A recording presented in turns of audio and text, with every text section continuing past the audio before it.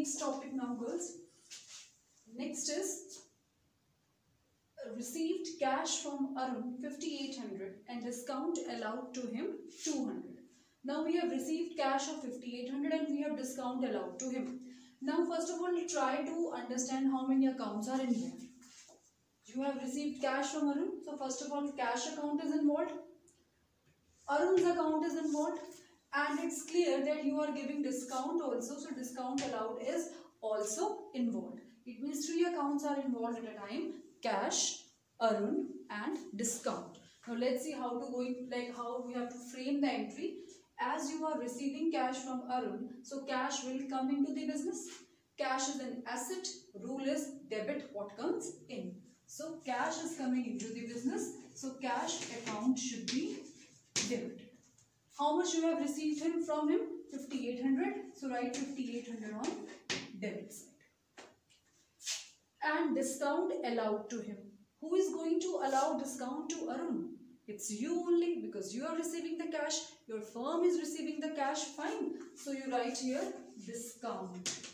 Because this discount will be an expense for you. You are taking rupees 200 less from Arun. You had to take rupees 6000 from Arun but you have taken only rupees 5800. Now who is going to give you the money? Arun. Arun again a personal account. Rule says that debit the receiver, credit the giver.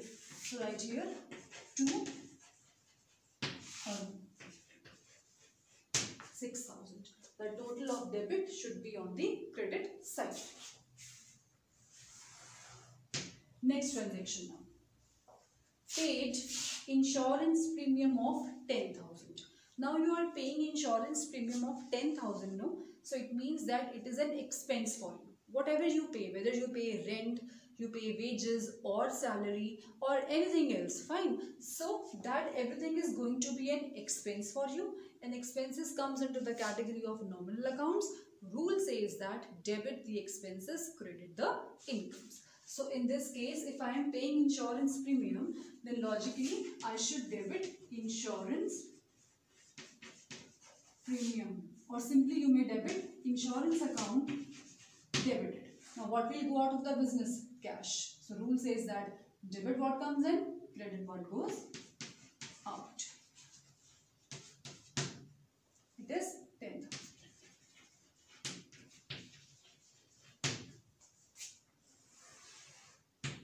Next is paid life insurance premium rupees 5000. Now see what is the difference between paid insurance premium and paid life insurance premium? Students there is a lot of difference. Life insurance premium is always for the life of the owner of the business. Now in this case the owner of the business is paying the like paying the premium of his insurance from the firm's cash. So it is a kind of his personal expense or you may say it is a kind of drawings. So instead of debiting insurance account in the next entry, you have to debit drawings account. You pass the entry drawings account debited to cash Fine.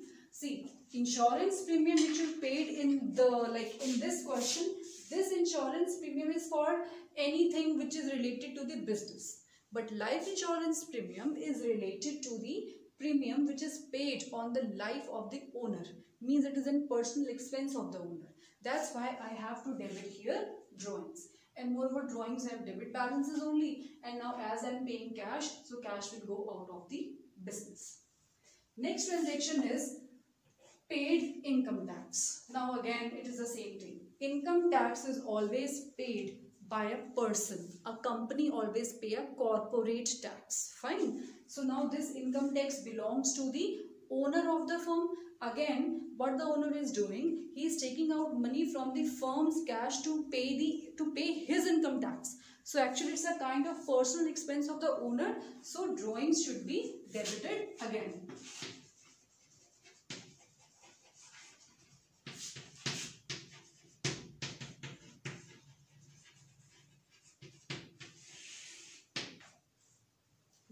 to write mouse also.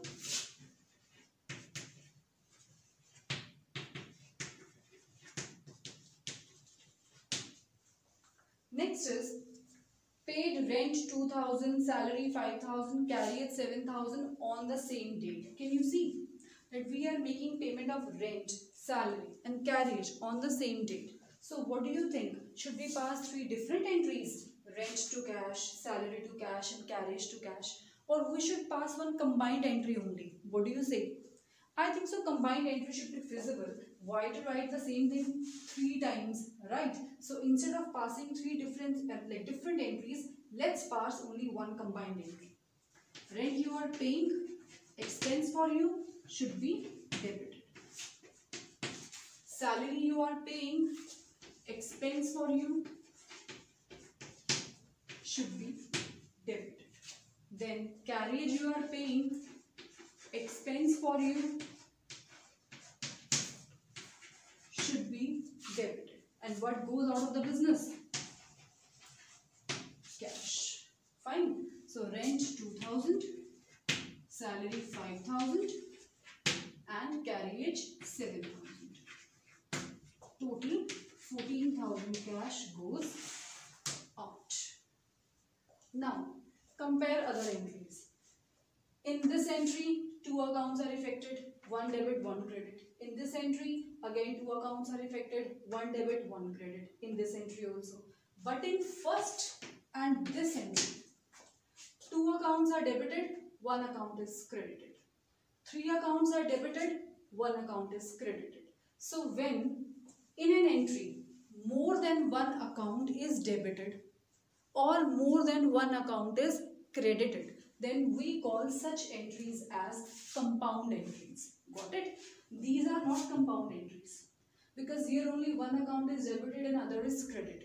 It's only in the case of the first and the last, uh, you know, entry where two accounts are debited, one is credited, so it is compound. Here three accounts are debited, one is credited, it's a compound entry. Suppose if it happens like this, one is debited, two or three are credited, then also it is a compound entry. So I hope the concept of compound entry is clear to you. And the last is purchased machinery for cash. If I give you a transaction purchase goods for cash, then you would have passed the entry purchases to cash because goods are the things in which your business deals and you have to use the word purchase or sale for them only. But whenever you buy any asset like machinery or furniture or land or building or it could be any asset, then instead of using the word purchase or sale, you have to use the name of that particular asset only. Now, if you are uh, purchasing machinery for cash, then machinery comes in, cash goes out and both are the assets. So, you are going to pass the entry machinery account debited to cash account. If you are going to purchase some building for cash, then building comes in, cash goes out. Then pass the entry building to cash. Similarly, if you are going to sell off some furniture, then furniture goes out, cash comes in. Then pass the entry cash to furniture. Got it? In case of goods only, you can use only you can use the word purchase or sale. But in case of the sale or purchase of asset, you have to use the word name of that particular asset only. Thank you.